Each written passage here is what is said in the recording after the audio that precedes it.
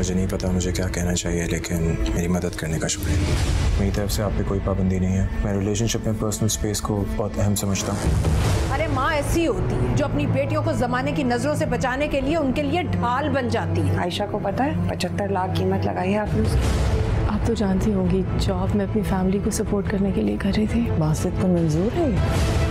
आशा अभी नौकरी नहीं कर सकती। मुझे लगा आप जानते हैं कि मजबूरी क्या होती है। आपको तो मैं इसलिए पसंद थी ना क्योंकि मुझे अपनों का एहसास है बासित फिर अपनों से मुँह मोड़ने का क्यों कह रहे हैं याद के लिए divorce papers